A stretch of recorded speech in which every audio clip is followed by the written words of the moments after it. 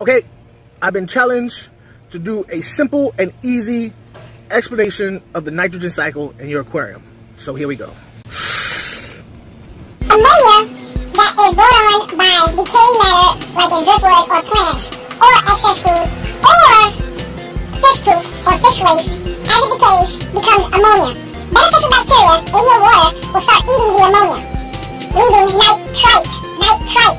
Very important that you know the difference. Nitrite.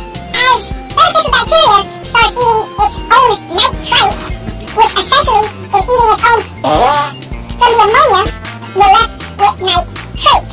And that's why beneficial bacteria is necessary to get rid of it. But nitrate, the only thing that gets rid of nitrate is plants that eat up the nitrate to grow, but an even better way to remove nitrate is by regular water changes. All this is important when starting an aquarium.